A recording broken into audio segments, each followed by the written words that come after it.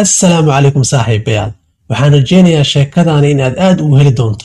Weliba wax badan oo aad ka faa'idi doonto ee daawasho wacan qisadani waxay ku dhacday nin beeraley ah oo reer holan ah. Horta intaanan bilaabin subscribe masarta janaalka.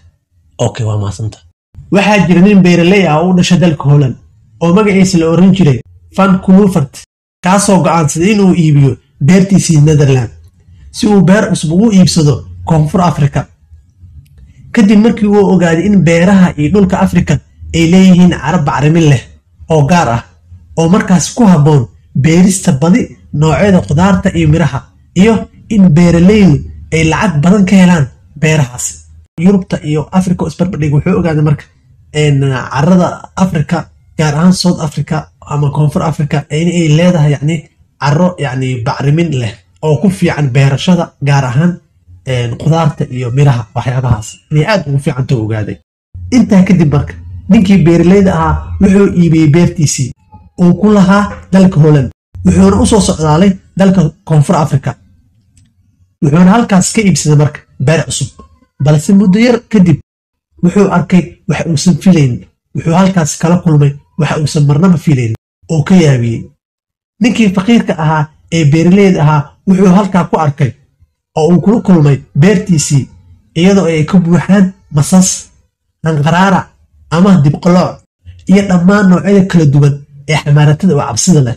Wuxuuna sidoo kale ogaaday in dhulka laftiisaba uusan ku habbooneen beerashada. Ninkii beeraleyda ahaa marka aad buu u argagaxay oo u naxay niyadjab iyo qoobamo ayuu bilaabay. Beertiisii holand ayuu iska iibiyey laakiin wuxuu ku beddeshay meel geeri go'an ah oo ay bahalluhu ku cunayaan. Ninkii yaab ayuu dhafooraha la qabsaday balse ninkani caadi ma ahan. Saa hore kugu soo sheegay sheekadaani waxaa ku dha wax badan ayaa ka faa'idi doontaa ninkani caadi ma ahan. Durbadiiba wuxuu bilaabay inuu aayar fadhiisto oo uu fikero wuxuuna bilaabay inuu iskula hadlo erayoo ay ka mid yihiin ma fahmi karo xaaladda jirta. Talow maxaa sameeyaa? Iyo su'aalo kaloo badan intaa kadib wuxuu isweydiiyey su'aalo isugu jira rajo iyo qoos ma dhici kartaa in aan dhibaatadan ka gudbo mise waa isdhiibaa xaaladdan waxba kama beddeli kara miya. Su'aalahaas oo idil iyo qaar kaloo badan oo isweydiiyey. Dabadeed su'aal ayaa maskaxdiis ku soo dhacday oo ah ma aragtaa wax faa'iide ah aan ka heli karo dhulkan isagoo xaaladdan ku sugan. Dhulkan ma u beddeli karaa dhul faa'iide leh isagoo xaaladdan ku sugan.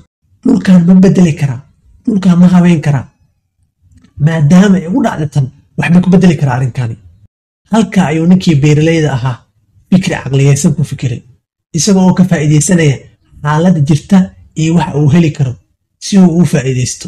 Ninkii beeraleyda ahaa waxa uu isdhahay hagaag waxa aan ka faa'iidaysan karaa masaska si aan u soo saaro seeram iyo tallaalo kuwaas oo ka hortaga sunta abeesada ama masaska. Ninkan wuxuu ku fikiray yani maadaama beertiisa lagu arkay masas aad u fara badan. Uusan filaynin yani beerta wuxuu asaga marka hore filaya in beerta yani dhul beerasho ah oo marka hore ugu talagalay. Laakiin masas iyo waxyaaba yani uusan filayn ayaa ka soo horbaxay. Kadib ninkan wuu fikiray wuxuu dhahay xaaladan aan ku suganahay wayba u dhacday ma bedeli karaa waxba ka bedeli karaa. Qofku waxaa la markii dhibaato ku dhacdo inuu ku fikiro inuu waxba ka bedeli karaa xaaladan aan ku sugana waxba ka bedeli karaa inuu u fikiraa la rabaa. Oo su'aalo isweydiiyey maadaama beertii uu ku arkay masas badan uu ku arkay uuna ogaaday yani dhulkaani inuusan ku habbooneen beerashada.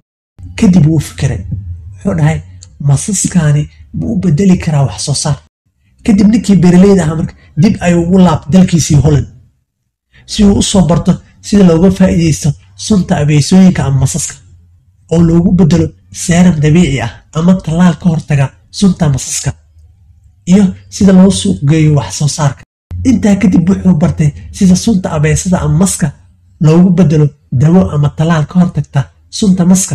Iyo waxaa kale uu soo bartay sida loo suuq geeyo loogana faa'iidaysto sunta. Intaa kadib marka waxa uu mar kale ku soo laabtay dalka koonfur africa oo markii sii hore uu ka tagay. Isaga oo xambaarsan cilmi iyo aqoon taasoo ka caawisa marka inuu fikirkiis u rogo xaqiiqo. Hadaf kastaa waa riyo ilaa aa ficil u beddesho maayan markaas ayuu wuxuu noqdaa xaqiiqo iyo run. Ninkan marka hadafkii oo lahaa oo ahaa yani dhulkan inuu bedelo dhul wax soo saar leh inuu ka dhigo.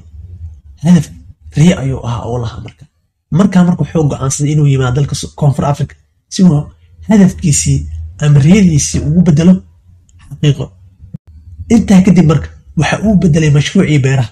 Waxaanu u bedelay mashruuc warshadeed oo aad u weyn oo soo saara tallaalada dabiiciga ah taasoo looga hortago sunta masaska. Dhulkaani markii hore wuxuu u gatay beer ahaan u gatay si uu wax ugu beero.